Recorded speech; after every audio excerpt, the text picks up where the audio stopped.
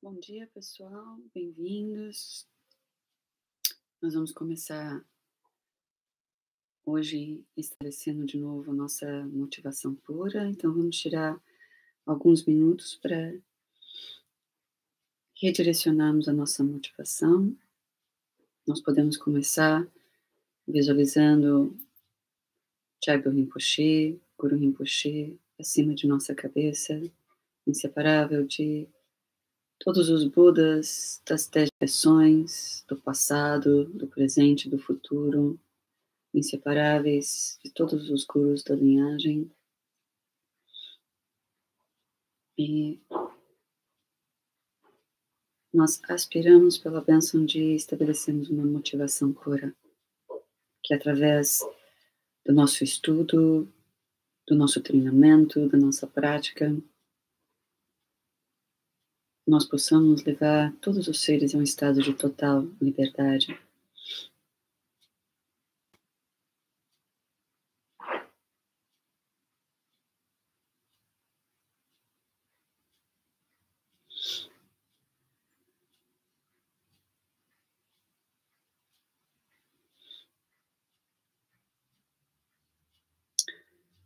Zonza Chense Rinpoche, em um ensinamento naquele livro que muitos de vocês conhecem, O que faz você ser budista, ele nos relembra a história de um,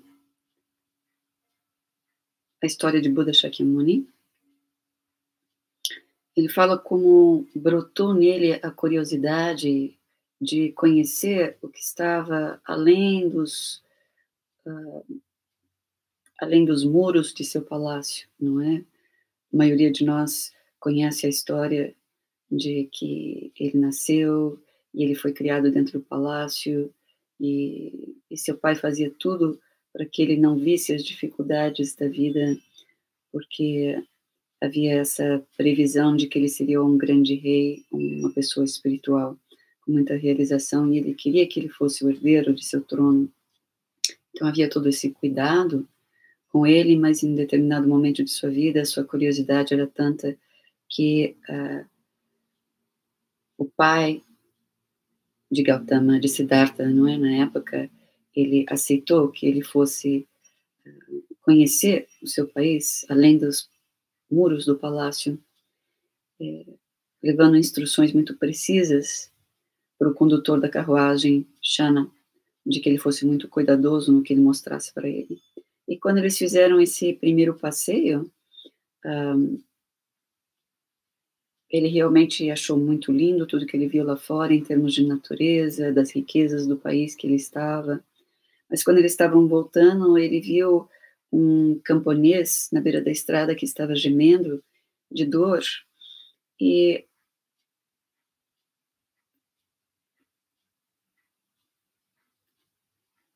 E foi uma coisa muito diferente para ele, porque ele, justamente por esse cuidado do pai, ele na verdade era sempre cercado por pessoas jovens, guarda-costas jovens e pessoas saudáveis à sua volta. E o som daquele gemido e a visão daquele corpo sendo passando por tanta dificuldade de doenças o deixou chocado. Ele presenciou a vulnerabilidade de um corpo humano e causou uma profunda impressão nele. Ele não tinha visto aquilo antes e ele sentiu seu coração muito pesado. E com o passar do tempo, ele quis de novo sair do palácio. E Sudodana, que era seu pai, estava muito relutante, mas depois de tanta insistência, ele concordou com as mesmas instruções para o condutor da carruagem que fosse muito cuidadoso, mas Nessa segunda viagem, ele viu caminhando pela estrada uma senhora muito idosa, a pele toda enrugada, caminhando com muita dificuldade. E ele perguntou para o condutor por que aquela pessoa estava caminhando daquela forma. E ele disse, por causa da velhice, não é? E ele disse o que é isso? Ele falou os elementos do corpo dessa senhora foram desgastados pelo tempo e essa experiência que se tem agora.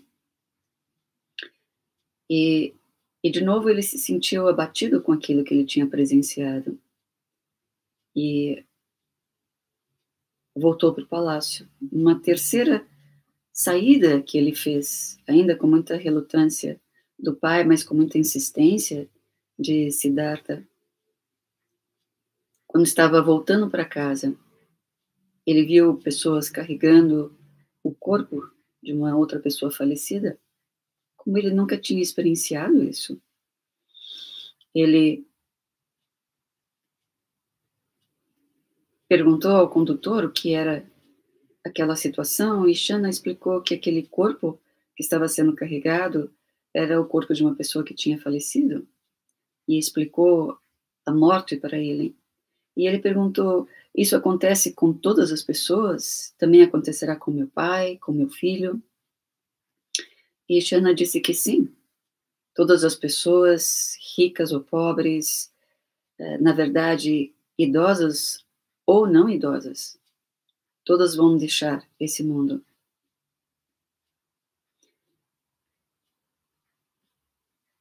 Então, o pai de Siddhartha Sudodana, preocupado com, com a forma como o filho estava se sentindo, ele pediu para os atendentes serem ainda mais cuidadosos e vigiá-lo para que ele não saísse mais do palácio. E aqui, uh, Zonza Chense nos fala de algo importante. Ele diz uh, Da mesma maneira que Sudodana fez, nós temos a tendência de agirmos de forma similar. Ao invés de querermos olhar para as coisas e vermos a verdade de como elas são, nós tentamos nos distrair e como que fazer de conta que as verdades da vida não estão presentes. Nos tornamos, por exemplo, insensíveis aos sinais óbvios da composição do nosso próprio corpo. Mesmo a experiência da morte, às vezes até no dia de hoje, nós tendemos a não deixar as nossas crianças expostas a isso. Ele diz muitas vezes, quando nós comemoramos o nosso aniversário, uh, nós não usamos como uma oportunidade de nos lembrarmos que um ano se passou, que não volta mais, que significa que esse nosso corpo está uh, cada vez entrando num processo mais e, e mais de decomposição. A mesma coisa em relação à celebração de um ano novo. É claro que nós usamos essas oportunidades para aspirarmos coisas positivas e celebrarmos a possibilidade de que ainda temos algo à nossa frente para podermos encontrar transformação e mudança ou coisas positivas, mas ainda assim nós não usamos essa oportunidade para nos lembrarmos que aquele ano que passou não retorna mais. Né? Ou ele diz, às vezes nós nos comportamos como uma mãe que, para distrair uma criança que está chorando, uh, ela usa chocalhos e brinquedos. Então ele disse, um raro vislumbre da velhice. Um raro vislumbre da morte foi suficiente para despertar em Siddhartha um anseio de, de compreender a verdade num nível extremamente profundo. E após um longo período de contemplação, ele chegou à compreensão de que todas as formas, inclusive esse nosso corpo, carne ossos, assim como todas as nossas emoções, as nossas percepções, elas são compostas, são o produto da junção de duas ou mais coisas. E quando dois ou mais componentes se unem, surge um fenômeno.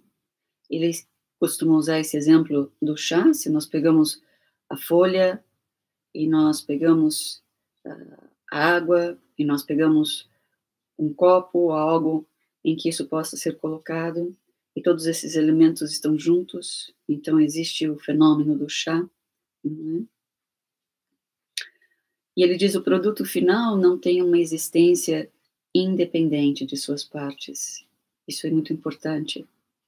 Acreditar que ele realmente exista de uma forma independente é percebermos as coisas de uma forma enganosa.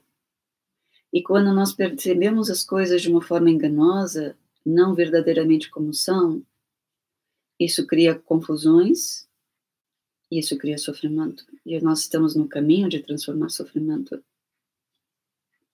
Ele diz: uh, as substâncias, simplesmente por estarem reunidas, sua natureza se altera, reunidas ou não reunidas, não é?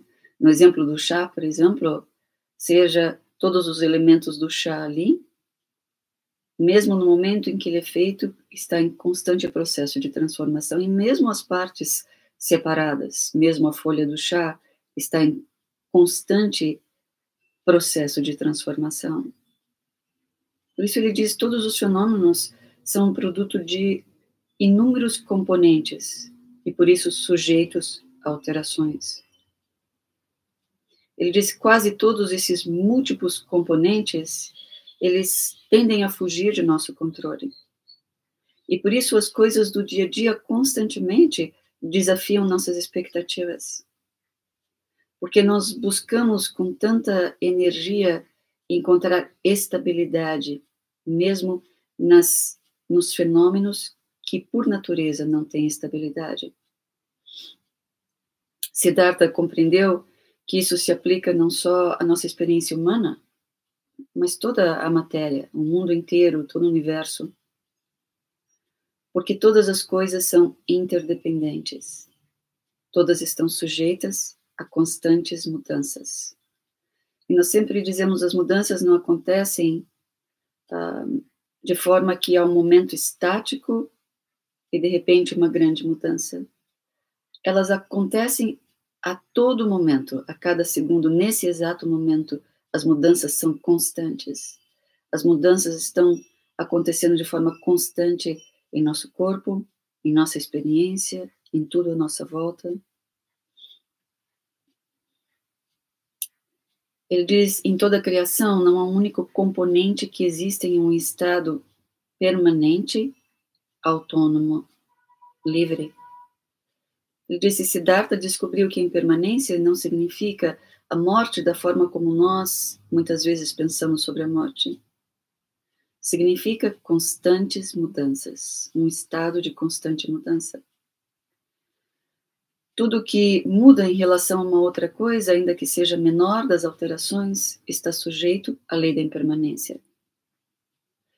Por essa compreensão, Siddhartha finalmente encontrou um meio de contornar o sofrimento da mortalidade como ele aceitou que a mudança é inevitável e que a morte física, por exemplo, desse nosso corpo, é apenas um componente desse ciclo de constantes mudanças. E ele também diz algo muito importante para nós. Ele diz o destemor não é porque nós queremos estar num estado além de medos, de receios. Ele diz o destemor nasce quando nós somos capazes de apreciar incertezas e mudanças. Porque essa constante mudança, que é a natureza de todos os fenômenos, não é algo ruim. É simplesmente a natureza de como as coisas são. Quando nós somos capazes de apreciar essa verdade da natureza de como as coisas realmente são,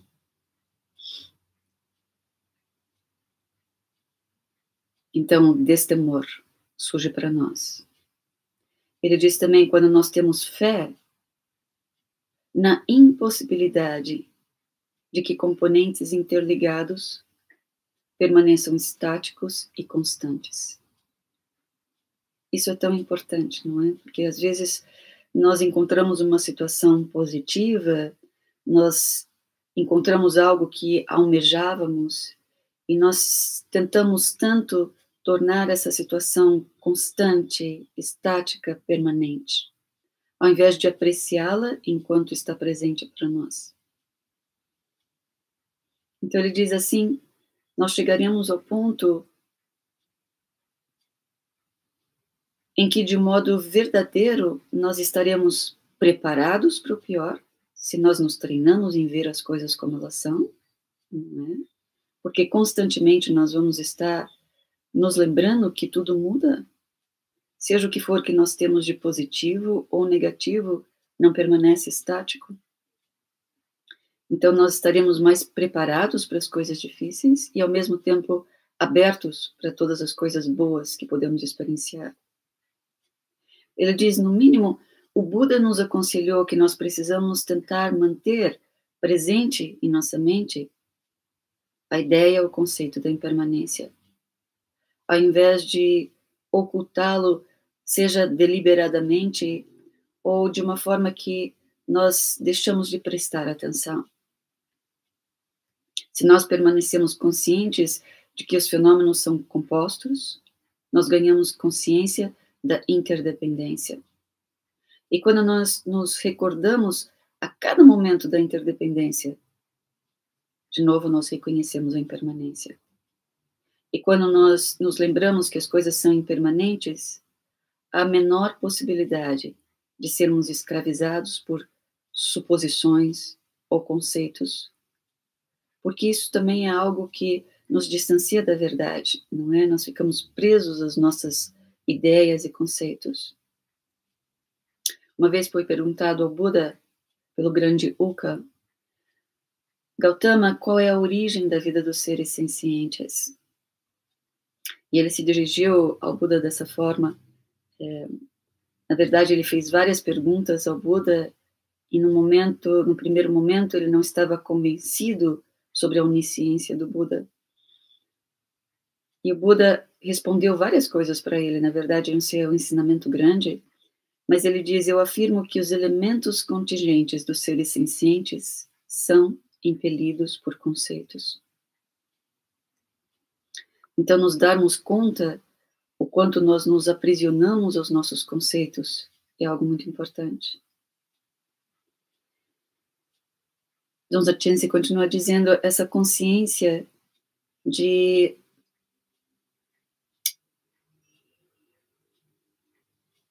estarmos esse estado de estarmos conscientes da verdade das mudanças e da impermanência impede que sejamos enredados por todo tipo de dramas pessoais ou sociais ou problemas em nossos relacionamentos como nós sempre falamos, dentro de nossa casa, no nosso trabalho, na sociedade como um todo. Nós começamos a perceber que as coisas não estão inteiramente sob o nosso controle e provavelmente não estarão. De modo que não há uma expectativa de que todos os planos que nós fazemos vão sair de acordo com nossas expectativas ou temores, nossas esperanças ou medos.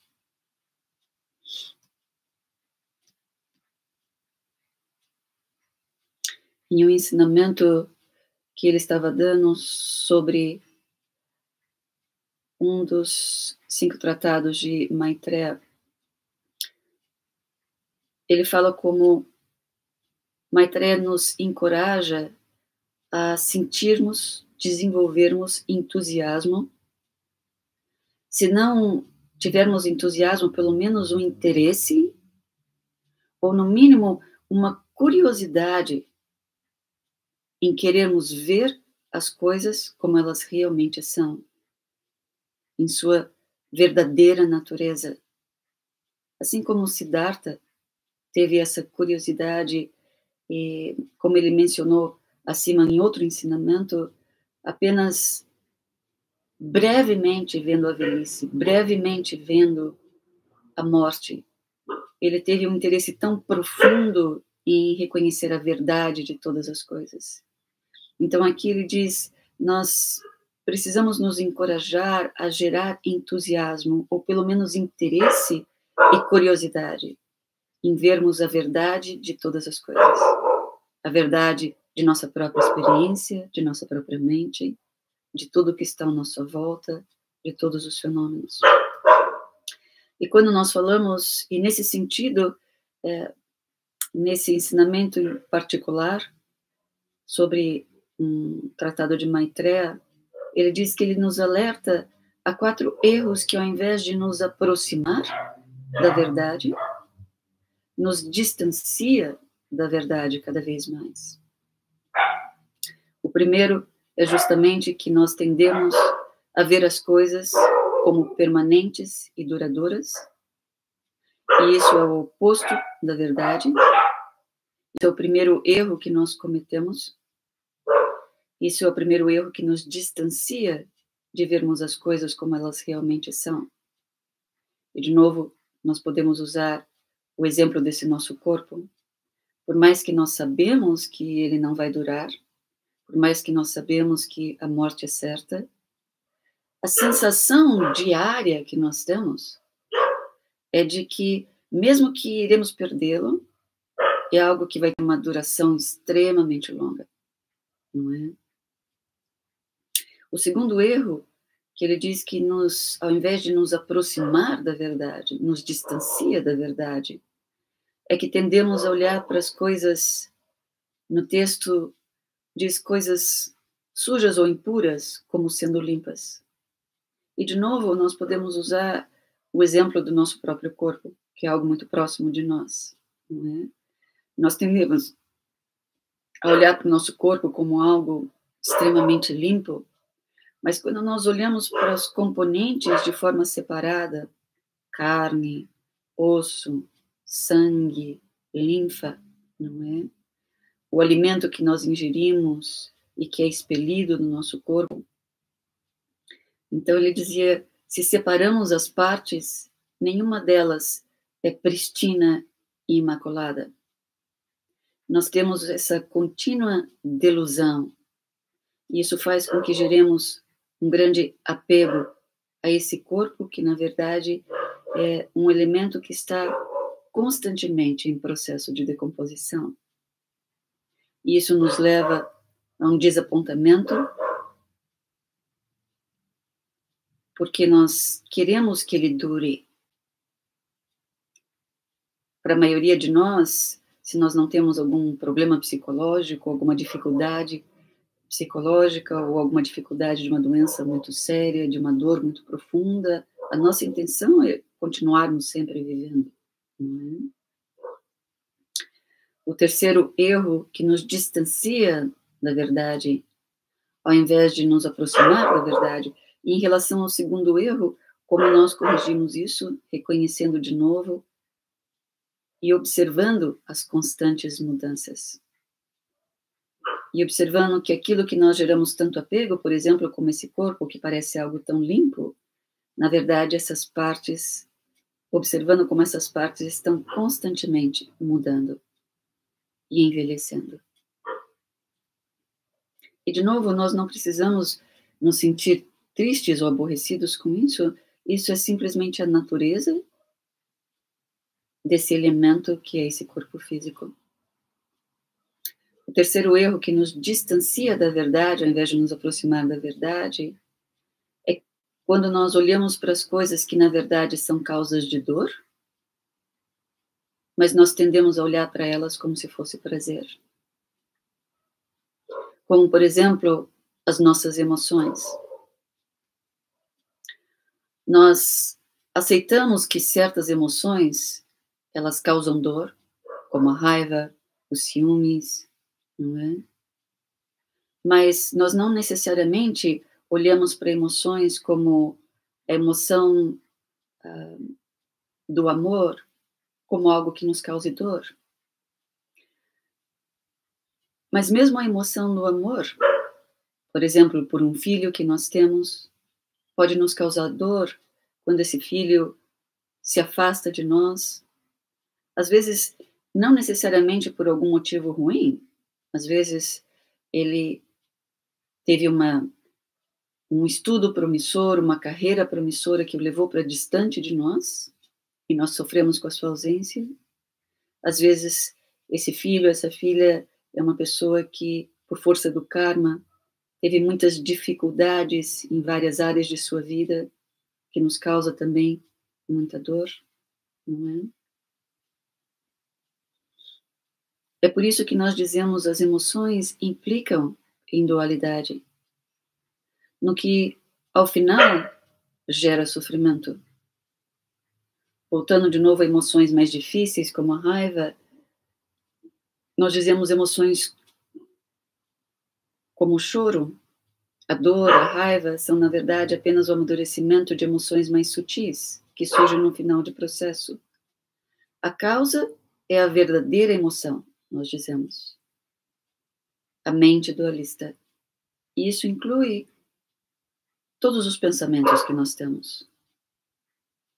E por que isso é dor? Porque é uma percepção equivocada. Toda mente dualista é uma mente equivocada. Uma mente que ignora a natureza das coisas como elas são.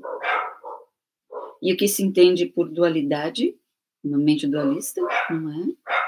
De um lado estamos nós, e de outro nossa experiência. Todas essas experiências que nós estamos vivendo estão no âmbito da verdade relativa, aquilo que nós estamos ouvindo com nossa audição, sentindo com nossas o nosso tato, não é? Interagindo com as pessoas. Ela é relativa porque podemos ver que pessoas diferentes percebem objetos de diferentes modos. Às vezes nós podemos estar em meio a uma situação com 10, 15, 20 pessoas e é possível que, quando algo acontece ali, cada uma dessas pessoas percebam a mesma situação de formas diferentes. Porque cada uma percebe de acordo com suas próprias projeções. O que significa que essa verdade não é uma verdade independente e livre. Ela depende da mente de cada um, da projeção de cada um. A mente dualista ela cria muitas expectativas, ela experiencia muitos receios e medos, muitas esperanças, muitas expectativas. E onde quer que a mente dualista exista, existe esperança e medo. Onde quer que a mente dualista exista, existe expectativa. E a expectativa é uma forma perfeita e sistemática de gerarmos sofrimento. O Buda ensinou: conheça o sofrimento, essa primeira nobre verdade. Muitos de nós tomamos erroneamente o sofrimento pelo prazer. Porque o prazer que eu tenho hoje, ele pode se tornar a causa do meu sofrimento no futuro. Às vezes eu encontro uma pessoa que parece ser minha alma gêmea e nós decidimos estar juntos e temos um relacionamento maravilhoso por anos, anos e anos. E mesmo que essa pessoa não se volte contra mim ou desista de mim e resolva ir embora, é? em algum momento ah, nós vamos deixar essa vida. E aquilo que era uma experiência maravilhosa se torna uma experiência de dor. Além disso, a emoção é algo que não tem uma existência intrínseca. Quando uma pessoa está com sede, por exemplo, e vê água em uma miragem à sua frente, ela tem a sensação de imediatamente encontrar um alívio, sentindo minha sede irá ser saciada. Mas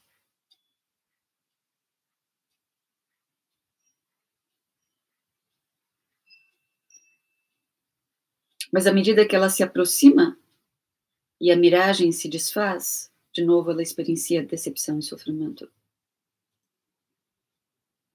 Nós gastamos tanta energia e esforço para adquirirmos aquilo que parece ser o objeto de nossa felicidade, de prazer para nós, mas que, mesmo que não se mostre como sofrimento no momento imediato, tem causas que podem se tornar sofrimento.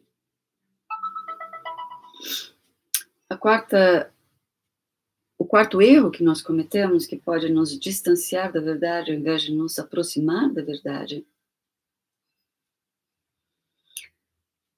é que nós vemos, sentimos, ouvimos coisas, experienciamos coisas a todo momento, mas esquecemos que tudo isso que nós experienciamos não possui uma natureza verdadeira o que significa uma natureza independente e uma natureza livre.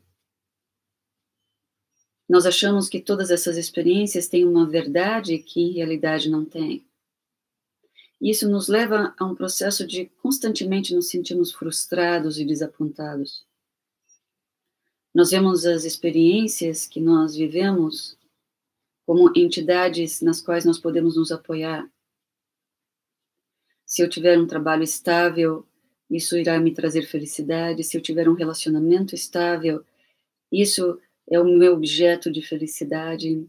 Se eu não tenho filhos, mas eu tiver filhos, é isso que vai me trazer felicidade. É? Sendo como nós falamos antes, que a natureza de todas essas experiências, ela é inconstante. Por isso, elas são experiências que nós dizemos nós não podemos confiar. Experiências enganosas no sentido em que nós não podemos colocar toda a nossa expectativa de felicidade nelas. Justamente por estarem em constante mudança. Quando nós pensamos cuidadosamente sobre esses equívocos em nossa visão, então aqui ele nos sugere, nós geramos a aspiração, assim como Siddhartha fez, de que nós queremos ter não só curiosidade, não só interesse, mas uma diligência em buscarmos pela verdade, em compreendermos a verdade. O que é a verdade, verdadeira natureza de nossa própria mente? O que é a verdadeira natureza de nossa experiência?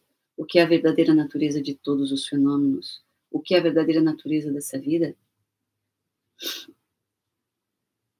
John Zachensi, no final desse ensinamento, ele diz: Sansara não é algo ruim, é apenas delusão, é apenas confusão. Não vermos as coisas como elas são.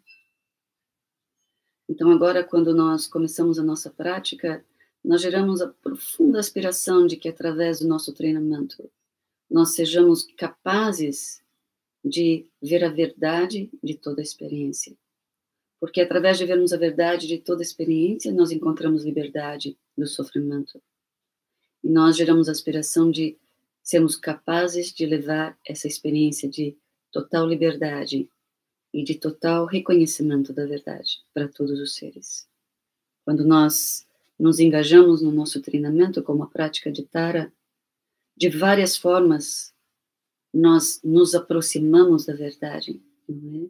O simples fato de visualizarmos esse Buda à nossa frente que corporifica todas as qualidades de uma mente desperta, iluminada, que não tem nenhuma confusão, que não, não tem nenhuma delusão, que é o total reconhecimento de toda a verdade. Quando nós visualizamos esse Buda, mesmo no primeiro estágio à nossa frente, nós estamos nos reconectando com essa capacidade, esse potencial dentro de nós. E ainda mais quando nós nos visualizamos nesse estado de total onisciência, no segundo estágio, quando nós fazemos a autovisualização de nós mesmos como um Buda, num estado de total reconhecimento da verdadeira natureza de todas as coisas. Além de tantos outros aspectos da prática que nos aproximam cada vez mais da verdade, mesmo no nível relativo, onde nós geramos preces de aspiração em tantos níveis, onde nós oferecemos a mandala, né? todos esses aspectos, tudo o que nós fazemos dentro do nosso treinamento, ouvirmos ensinamentos, cada aspecto de treinamento da prática de desenvolvimento e consumação, que é a prática que fazemos agora, ou com a prática de chamata, Vipassana, todos os níveis de treinamento que nós fazemos, todos têm a intenção de nos aproximar cada vez mais da verdade. Uma coisa importante quando nós estamos falando a respeito daqueles quatro erros que nos distanciam da verdade, e nós usamos exemplos como, uh, por exemplo, relacionamentos, que mesmo a nossa aspiração, o desejo, às vezes, de de termos um relacionamento ou de termos filhos, não significa que seja errado nós desejarmos ter um relacionamento, ter filhos, pelo contrário, nós somos seres sociais, não é? Nós queremos nos estar próximos uns dos outros, não há nada de errado nisso. Mas quando nós temos menos confusão e nós vemos as coisas mais como elas verdadeiramente são, quando nós estamos em um relacionamento, nós somos mais capazes de apreciar o que há de bom ali e nós nos sentimos menos frustrados com as limitações e dificuldades nossas e dos outros. Né? Por isso, essa nossa aspiração de cada vez sermos mais capazes de dissolvermos nossa confusão e vermos a verdade de como as coisas são. A mesma coisa em relação a filhos. Não é errado nós aspirarmos ter filhos, pelo contrário, em ensinamento do Zonza Khyentse Rinpoche diz, por favor, tenham filhos, não é? Então, uma pessoa estava comentando com ele que tinha filhos e sentia que por causa disso ela não era capaz de praticar. E ele disse que, na verdade, isso é uma grande prática. Uhum. Mas quanto mais nós dissolvemos nossa confusão, quanto mais nós nos aproximamos da verdade, quanto mais nós nos treinamos em nos aproximar da verdade, e mais nós temos um reconhecimento da verdade, mais eu aprecio aquele ser que está ali comigo, como meu filho ou minha filha, e menos eu me frustro ou sofro com as dificuldades que esse ser experiencia, que já é parte de seu próprio karma, não é?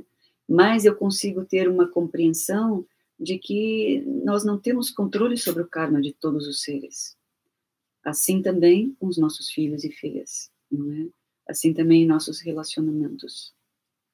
Se isso fosse possível, os Budas já teriam uh, interferido em nosso karma. É? Então, que todos nós possamos cada vez mais nos aproximar na verdade e com isso cada vez mais dissolver sofrimento e confusão e com isso cada vez mais beneficiar todos os seres, aqueles próximos ou distantes de nós, aqueles que nós consideramos como pessoas que nós apreciamos ou seres que parecem extremamente confusos para nós, que nós possamos nos tornar, à medida que nos aproximamos mais e mais da verdade através do nosso treinamento, nos tornar cada vez mais econômicos. Então, um grande abraço para todos, fiquem bem e até a próxima.